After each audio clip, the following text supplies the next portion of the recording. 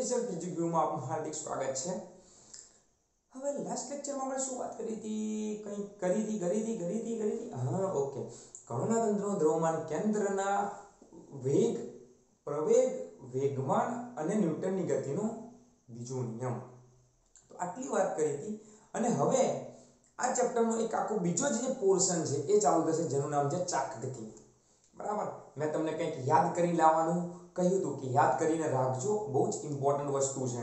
બરાબર? તો ચલો, હવે આપણે જોઈએ કે કોઈ ચાક ગતિ કરતો પદાર્થ હોય, દળ પદાર્થ અહીંયા વાત કરવાની છે. મેં ચાક ગતિ કરતા દળ, એટલે કે અમુક ઘન પદાર્થની આપણે વાત કરવાની છે. બરાબર? કે દળ દળ પદાર્થ કયો હોય?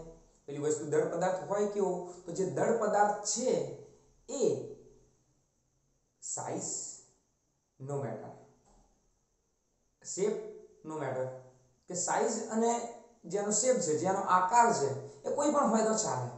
પણ એના બે બિંદુ વચ્ચેનું સાપેક્ષ અંતર બદલાવવું જોઈએ નહીં. એવો પદાર્થ હોવો જોઈએ. ઘન પદાર્થ આપણે લઈશું, દળ પદાર્થ તરીકે આપણી પાસે બીજો કોઈ ઓપ્શન છે નહીં. કારણ કે ઘન પદાર્થ ને જ દળ પદાર્થ માનવામાં આવે છે અને દુનિયામાં દળ પદાર્થ જેવી કોઈ વસ્તુ છે નહીં. બરાબર? ઇવન આપણે બી નથી. બરાબર? આપણા હાડકા બી નથી. નથી નથી નથી. ચલો. તો આપણે ક્વેશ્ચન છે એક. શું ક્વેશ્ચન છે જોઈએ? કે ચાક ગતિ કરતા કોઈ પણ પદાર્થ માટે ચાક ગતિ કરતા કોઈ પણ દળ પદાર્થ માટે કોણીય સ્થાનાંતરનું સૂત્ર મેળવો. વેગનું સૂત્ર મેળવો. બરાબર? આપણે આ આ બે ટોપિક ઉપર વાત કરશું. કે કોણીય સ્થાનાંતરનું સૂત્ર અને કોણીય વેગનું સૂત્ર. આ બે આપણે આજે તારવવાના છે, મેળવવાના છે. બરાબર? ચલો જોઈએ. શું કહેવા માંગે છે? ભાઈ અહીં અહીં. ચલો. પ્રશ્ન લખી દઉં? ભાઈ ચાક ગતિ કરતા પદાર્થ માટે શું પ્રશ્ન લખશું ભાઈ? કે ચાક ગતિ કરતા પદાર્થ માટે કોણીય સ્થાનાંતરની માહિતી મેળવો. કે ચાક ગતિ કરતા ચાક ગતિ કરતા દળ પદાર્થ માટે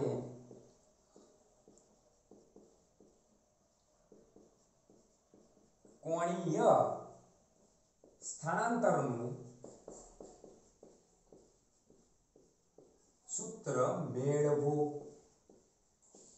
ઠીક છે કે દળ પદાર્થ હોય અને ચાક ગતિ કરતો હોય ગોળ ઘૂમતો હોય તો જે ગોળ ઘૂમતો પદાર્થ છે એના માટે કોણીય સ્થાનાંતરનું સૂત્ર મેળવવાનું છે ભાઈ. કોણીય સ્થાનાંતર એંગ્યુલર ડિસ્પ્લેસમેન્ટનું સૂત્ર મેળવવાનું છે. બરાબર? ઇક્વેશન ઓફ એંગ્યુલર ડિસ્પ્લેસમેન્ટ તો એનું સૂત્ર આપણે મેળવવાનું છે. ચલો જોઈએ ભાઈ આન્સર તો જોવો જ પડશે. નહીં ચાલે નહીં ચાલે. તો ચલો, આપણે જોઈએ કે એક અક્ષ છે. અહીંયા અક્ષ છે અહીંયા અક્ષ અક્ષ તો એક અક્ષ છે. આડી થઈ ગઈ. ઊભી દોરો ઊભી દોરો. કે એક અક્ષ છે આપણી જોડે. અને અહીંયા એક પદાર્થ છે. મેં કહ્યું હતું કે અનિયમિત આકારનો હોઈ શકે, ભાઈ. બરાબર? કે અનિયમિત આકારનો હશે, અનિયમિત શેપ હશે સાઈઝ હશે. બરાબર? કે એનું પરિમાણ અને એનો આકાર નિશ્ચિત નહીં હોય એવો હું ચલો, માન લો કે આ જે પદાર્થ છે, એ જે એની અક્ષ છે વાય અક્ષ, આપણે થોડું રાખીએ. કે વાય અક્ષ છે, તો વાય અક્ષના લી, વાય અક્ષથી એમ ગોળ ગોળ ફરશે. બરાબર? કે વાય અક્ષથી ગોળ ગોળ ફરશે. જેમ કે પંખો આપણે, પંખાની વાત કરીએ, તો પંખાના જે પાંખિયા છે, એ કોની આજુબાજુ ગોળ ગોળ ફરે છે? તો એનો સેન્ટર પોઈન્ટ એની પુલ્લી એની જે ઉપરનો ભાગ છે, પુલી છે. તો એનાથી શું કરે છે? વર્તુળાકાર માર્ગે ફરે છે. તો એની અક્ષ કઈ થઈ? તો એ જે પુલી છે, જેનાથી લટકેલો છે, તો એ એની અક્ષ થઈ ગઈ. બરાબર? તો આ અહીંયા પણ એવું છે કે આ વર્તુળાકાર માર્ગે ફરશે, તો એની આ એક પુલી છે, એક અક્ષ છે. બરાબર? તો માન લો કે અહીંયાથી એક્ઝેક્ટ સેન્ટર પોઈન્ટથી એના ઉગમ બિંદુથી આર અંતરે, કે આ જે છે, સ્થાન સદિશ આર કે આર અંતરે પી બી પી પોઈન્ટ છે. બરાબર? કે અહીંયા પુલીમાં અથવા દળ પદાર્થની અંદર કે ઉગમ બિંદુથી કે જ્યાંથી ફરવાનો છે એ બિંદુથી આર અંતરે એક p બિંદુ આવેલું છે. ચલો અહીંયા આપણે નોટ કરી દઈએ આપણે.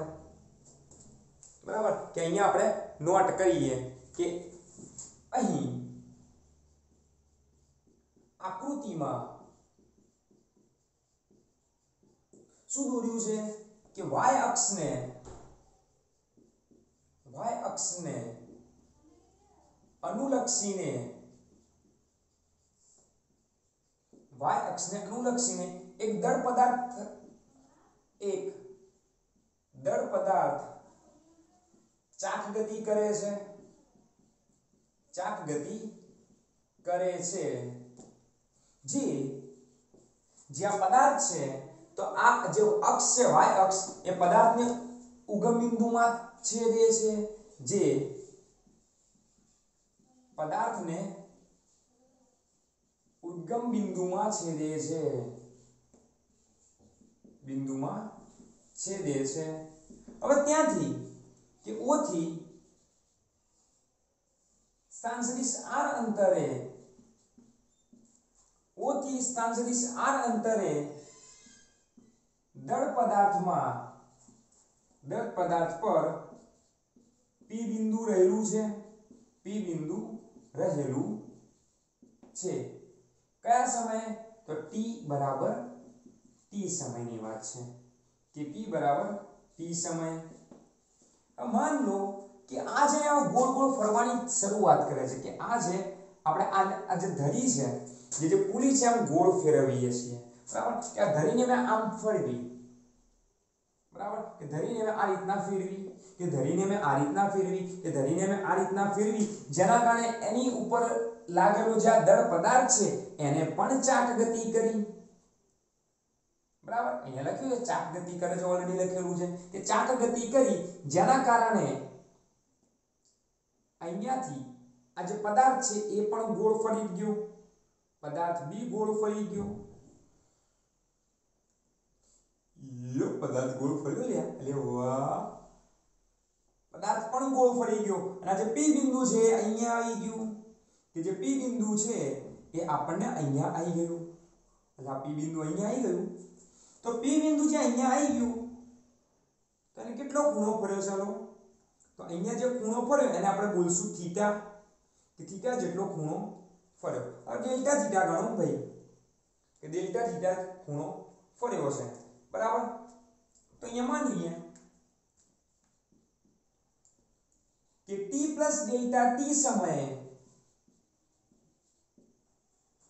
ચાક ગતિ કરતા પદાર્થે ચાક ગતિ કરતા પદાર્થે ડેલ્ટા થીટા જેટલું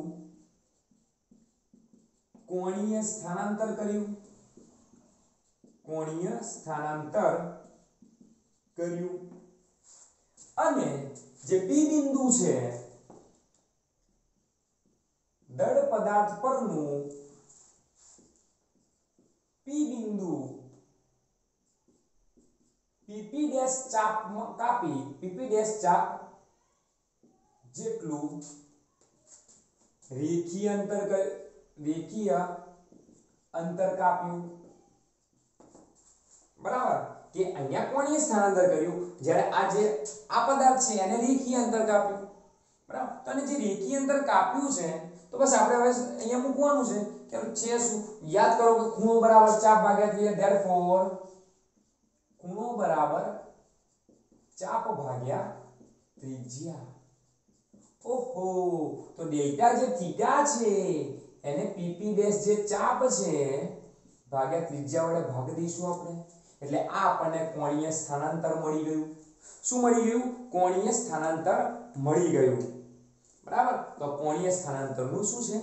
એક થિયરી છે. આખી થિયરી છે. બીજી જે થિયરી છે શું છે? કે ચાક ગતિ કરતા દળ પદાર્થ માટે કોણીય વેગનું સૂત્ર મેળવો. કોણીય વેગનું સૂત્ર મેળવો. બરાબર? તો આકૃતિ પહેલા આપણે હરકી કરી દઈએ. અને અહીંયા જ તમારે જે બીજી થિયરી લખવાની છે, આ બીજો પ્રશ્ન છે, ધ્યાન રાખજો. લાસ્ટ ટાઈમ શું કર્યું મને ખ્યાલ છે ભાઈ, હું કંઈ કહીશ નહીં, પણ મને ખ્યાલ છે. Last time what are you doing બરાબર. ચલો, તો અહીંયા જળ પદાર્થ દોર દઈએ આપણે, અનિયમિત આકારનો. બરાબર. અને આ શું થઈ ગયા અક્ષ. આ શું થઈ ગઈ? ભાઈ એની અક્ષ થઈ ગઈ. અને ત્યાંથી ઉગમ બિંદુ માનીએ આપણે, એટલે એક્સ વાય અક્ષ લખીએ બરાબર કે આ એક્સ ને, આ એક્સ છે બરાબર? તો ત્યાંથી અહીંયા, માન લો કે અહીંયા પી બિંદુ છે. જેનો સ્થાન સદિશ r છે, ઉગમ બિંદુ o છે. અને આ જે સમય છે, એ t સમય છે. જ્યારે ગોળ ગોળ ફરતો ફરતો ફરતો ફરતો, આટલે પહોંચશે એટલે આ ચાક ગતિ કરશે ને ભાઈ? આમ કહીને આમ ચાક ગતિ કરશે? દેખ દેખ દેખ. આમ ચાક ગતિ કરી. બરાબર. ના ખબર પડી ના ખબર પડી ના ખબર ના ખબર પડી ભાઈ મને નહીં ખબર પડતી. તમને નહીં ખબર પડી. જો જો જો જો, એ આ જે પદાર્થ છે જે આ બિંદુ દોર્યું મેં અહીંયા તો એ આમ ગોળ ગોળ ચાક ગતિ કરશે? આમ આમ. પદાર્થ આખો પડશે આ રીતના ગોળ ગોળ પડશે કાંઈક વિચારો તમે. આ દેખો આ પેનનું આ રહ્યું. કેપનું હોલ્ડર છે, બરાબર? તો કેપનું જે હોલ્ડર છે સ્ટેપ હોલ્ડર છે, તો એ જેમ હું આને ફેરવું છું, ધ્યાન રાખજો, જેમ હું આને ફેરવું છું, એમ એ પણ હોલ્ડર ફરે છે. તો વિચાર લો કે આ જે પદાર્થ હું ફેરવું છું ને માન લો કે આ ટી સમય છે. એને ફેરવ્યો, બરાબર, કે આ અંતર આર માન લો આટલેથી આટલું અંતર આર છે. બરાબર? તો આજે આ જે અંતર આર છે, હવે આને હું ફેરવું છું. આ ટી બરાબર ટી સમય છે. આને ફેરવું આટલે લાવી દીધું. કે આટલેથી મેં આટલે લાવ્યો એટલે સહેજ ફર્યું એર્યું જેના કારણે શું હશે કે જે પી અંત પી જ બિંદુ છે, એ આટલે તો એની જગ્યાએ આટલે આવી ગયું. ટી બરાબર ડેલ્ટા ટી સમય અને આટલું કોણીય સ્થાનાંતર જે અહીંયા ઓલરેડી લખેલું છે ભાઈ. આટલું કોણીય સ્થાનાંતર કર્યું. બરાબર? આટલું કોણીય સ્થાનાંતર કર્યું. તો અહીંયા લખીએ આપણે કે આ પી બિંદુ છે, આ સ્થાન સદિશ આર છે ઓ બિંદુ છે અહીંયા આવતો રહ્યો પી ડેશ સ્થાને. કેટલું ફરીને? ડેલ્ટા થીટા જેટલું ફરીને આવતો રહ્યો. બરાબર? ડેલ્ટા થીટા જેટલું ફરીને આવતો રહ્યો, જેનો સ્થાન સદિશ આર જ ગણીએ ને ભાઈ? આર જ છે. કે આર ડેશ ગણીએ? ચલો, આર ડેશ ગણી લઈએ. બરાબર? સૂત્ર તો આનું આ છે. સૂત્રમાં કોઈ પરિવર્તન થશે નહીં. હા, પણ વેગમાં સૂત્રમાં પરિવર્તન થશે. બરાબર? તો કે અહીંયા કહીએ, લખવાનું તમારે આ બધું છે જ. લખવાનું તમારે આટલેથી આટલું તો ટોટલ કમ્પ્લીટ છે આ પ્રશ્ન માટે. પણ એની આગળ વાત કરીએ, આટલે સુધી તમે સમજી ગયા છો. એની આગળ વાત કરીએ તો શું થશે? કે આ દરમિયાન આ દરમિયાન તેનો કોણીય વેગ પણ કેવો છે? સરેરાશ વેગ છે. કેમ? કારણ કે ડેલ્ટા ટી સમય છે. બરાબર? એક્ઝેક્ટ ટી સમયની વાત નથી કરી. ડેલ્ટા ટી સમયની વાત કરી છે. બરાબર? તેનો કોણીય વેગ. ઓમેગા બરાબર. કોણીય વેગ યાદ કરો, મેં. લાસ્ટ લેક્ચરમાં કીધું હતું ઓમેગા ને કોણીય વેગ બોલવામાં કે ઓમેગા બરાબર કોણીય સ્થાનાંતર. કોણીય સ્થાનાંતર ભાગ્યા તે માટે લાગતો સમય. Therefore, ઓમેગા સરેરાશ બરાબર ડેલ્ટા થીટા ભાગ્યા ડેલ્ટા ટી. જે આનું સૂત્ર છે. બરાબર? હવે આનો એકમની વાત કરીએ તો આનો એકમ શું થશે? તો આનો એકમ છે રેડિયન તો આનો એકમ શું થશે ભાઈ? આનો એકમ થશે રેડિયન, આનું ઉપરનું રેડિયન નીચેનો સેકન્ડ રેડિયન પ્રતિ સેકન્ડ તો આ થયો આપણો કોણીય વેગ માટેનું સૂત્ર. ઠીક છે? તો. લખી દો ફટાફટ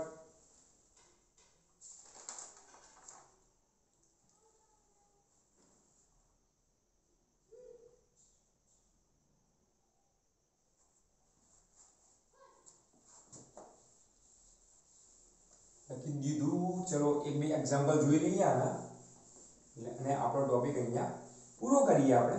નેક્સ્ટ લેક્ચરમાં મળશું પછી.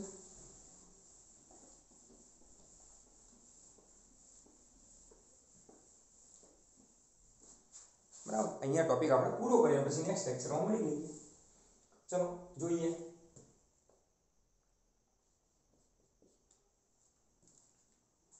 માન લો કે ઘડિયાળનો છે ચલો. માન લો કે ઘડિયાળ છે આપણી. ઘડિયાળનો આ સેકન્ડ કાંટો છે. ઘડિયાળનો સેકન્ડ કાંટો છે હાલ બાર ઉપર છે. બરાબર? તો હું અહીંયા લખું કે ઘડિયાળના સેકન્ડ કાંટાની લંબાઈ સેકન્ડ કાંટાની લંબાઈ કેટલી વાર? આટલી વાર નહીં જાય દસ સેન્ટીમીટર ગણી? કે દસ સેન્ટીમીટર છે બરાબર દસ સેન્ટીમીટર છે અને એ ઘડિયાળના સેકન્ડ કાંટાની ટોપ ઉપર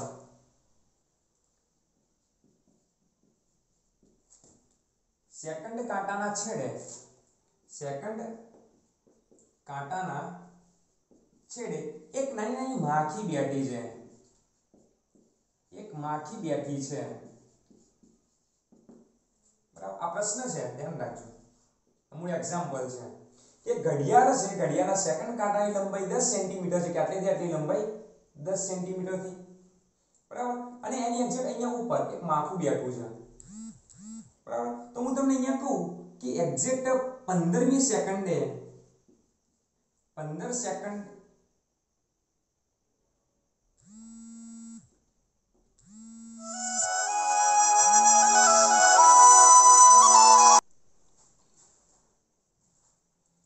તો શું કીધું? કે એક્ઝેક્ટ 15 સેકન્ડે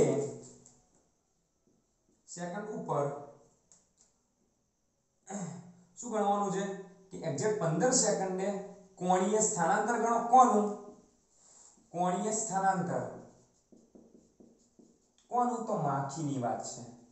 ભાઈ, માખી કેટલું કોણીય સ્થાનાંતર કર્યું? બીજું શું ગણવાનું છે?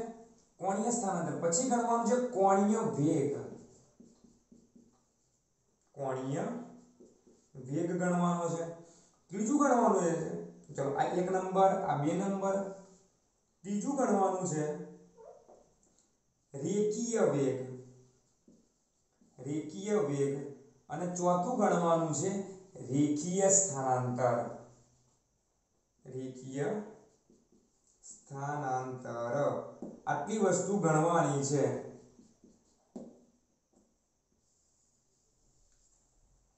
બરાબર? ચલો, તો એક્ઝેક્ટ 15 સેકન્ડે તો 15 સેકન્ડે ક્યાં હશે? કે જે બાકી જે 15 સેકન્ડ હશે એક્ઝેક્ટ 3 ઉપર, અહીંયા હશે 3 ઉપર એક્ઝેક્ટ 15મી સેકન્ડે તેને આટલેથી આટલું સ્થાનાંતર કર્યું? આટલેથી આટલું સ્થાનાંતર કર્યું. તો કેટલો સમય? ચલો, આપણને સમય તો ખબર છે કે ડેલ્ટા ટી છે આપણા માટે 15 સેકન્ડ બરાબર ચલો ત્રિજ્યા ગણીએ તો આને ત્રિજ્યા કહીશું, ઘડિયાળના કાંટાને. તો ઘડિયાળનો કાંટો જે છે આપણી માટે ત્રિજ્યા બની ગયો. તો ત્રિજ્યા છે આપણી 10 સેમી, પણ 10 સેમીને આપણે મીટરમાં ફેરવીએ, તો 10 ભાગ્યા 100 લખી દઉં. 10 ભાગ્યા 100 મીટર. બરાબર? કે 10 ભાગ્યા 100 મીટર. હવે કોણીય સ્થાનાંતર ગણવું છે, તો કોણીય સ્થાનાંતરનું સૂત્ર શું છે? તો કોણીય સ્થાનાંતર થીટા બરાબર ચાપ ભાગ્યા ત્રિજ્યા ચલો આપણને ત્રિજ્યાની તો ખબર છે, પણ ચાપની ખબર નથી. એટલે કે આટલેથી આટલે સુધીનું જે અંતર છે ખબર નથી. તો કઈ રીતના શોધશું? ચાપ.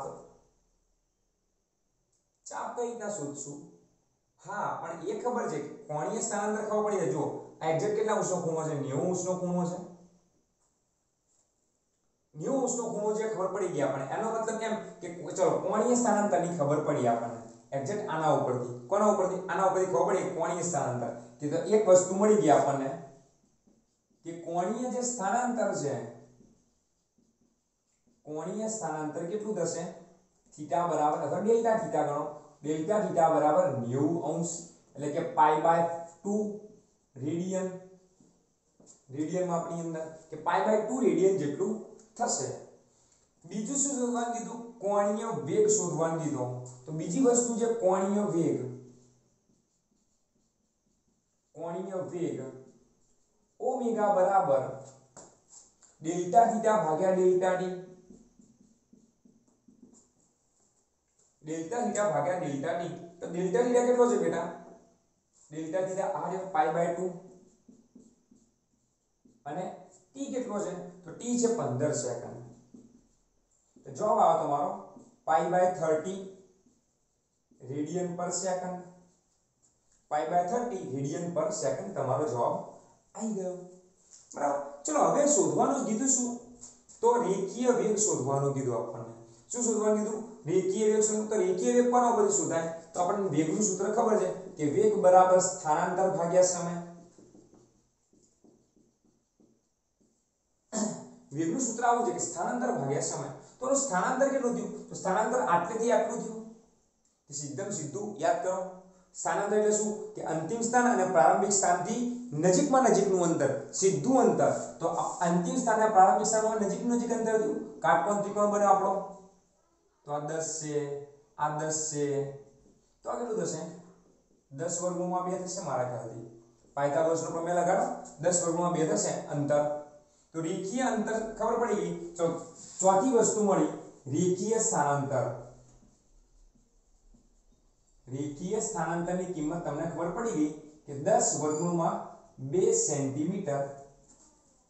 બરાબર? અથવા તો 10 વર્ગમૂળમાં 2 ભાગ્યા 100 મીટર. આ તમારે રેખીય સ્થાનાંતરની કિંમત મળી. હવે ત્રીજી વસ્તુ જે ગણવાનું બાકી હતી એ ગણ લઈએ. રેખીય વેગ. રેખીય વેગ બરાબર સ્થાનાંતર ભાગ્યા સમય. સ્થાનાંતર ભાગ્યા સમય. સ્થાનાંતર કેટલું છે? ચૂન ચૂન ગઈ. એટલે વર્ગમૂળમાં બે ભાગ્યા દસ ગુણ્યા 15 બરાબર વર્ગમાં બે ભાગ્યા 150 મીટર પર સેકન્ડ. આ તમારો રેખીય વેગ મળી ગયો. બસ, તો આ ચાર અહીંયા શોધ્યા આપણે. ઠીક છે? તો હવે તમારે શોધવું છે. માન લો, હું અહીંયા એક આ ક્વેશ્ચન તમારા માટે છે, તમારે ઘેરથી ગણવાનો છે. બરાબર? અહીંયા ખાલી થોડું બદલું હું. કે 10 સેન્ટીમીટર જે છે, એ દસ મીટરની જગ્યાએ માન લો કે 15 સેમી છે. સેકન્ડના કાંટાના છેડે માખી બેઠી છે કમ્પ્લીટ છે. 15 સેકન્ડની જગ્યાએ તમારે ગણવાનું છે 20 સેકન્ડ માટે. 15 સેકન્ડની તમારે જગ્યાએ તમારે ગણવાનું શું છે? કે 20 સેકન્ડ માટે કોણીય સ્થાનાંતર ગણો, કોણીય વેગ ગણો, કોણીય રેખીય વેગ ગણો અને રેખીય સ્થાનાંતર ગણો. 20 સેકન્ડ માટે તમારા દાખલો ગણવાનો છે સેન્ટીમીટર 15 છે. ઠીક છે? તો આટલી વસ્તુ તમારે ગણવાની છે. બરાબર? ગણી આપશો ને? જો પેલા આ ઉતારો ફટાફટ.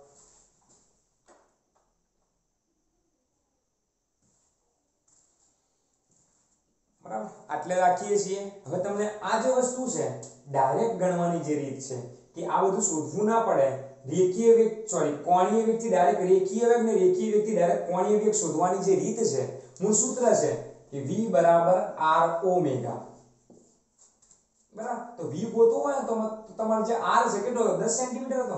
તો 10 ગુણ્યા ઓમેગા ની કિંમત કેટલી? પાઈ ભાગ્યા 30 આવી પાઈ ભાગ્યા 30 ડાયરેક્ટ કરશો તો તમારે જવાબ મળી જશે પાઈ ભાગ્યા 3 બરાબર કે પાઈ ભાગ્યા ત્રણ ડાયરેક્ટ તમને જવાબ મળશે કે રેખીય વેગ કેટલો છે તો આ એ જે સૂત્ર છે, v બરાબર છે r ઓમેગા નું સૂત્ર છે, એ આપણે નેક્સ્ટ વિડિયો લેક્ચરની અંદર જોશું. પછી હજી તો પ્રવેગ બાકી છે. અચળ પ્રવેગ ગતિના સમીકરણો બાકી છે બંધુ. અચળ પ્રવેગ ગતિના સમીકરણો જે આપણે જોવાના છે, જે આપણે ચોથા ચેપ્ટરમાં જોયા હતા, ત્રીજા ચેપ્ટરમાં જોયા હતા, એવું ને એવું. એ કયા હતા? રેખીય હતા. અહીંયા શું છે? કોણીય પ્રવેગના. અચળ કોણીય પ્રવેગની ગતિના સમીકરણો આવશે. તો એ જોવાના, તો એ આપણે નેક્સ્ટ વીડિયો લેક્ચરની અંદર જોઈશું. અત્યાર માટે આટલું બાય જોયું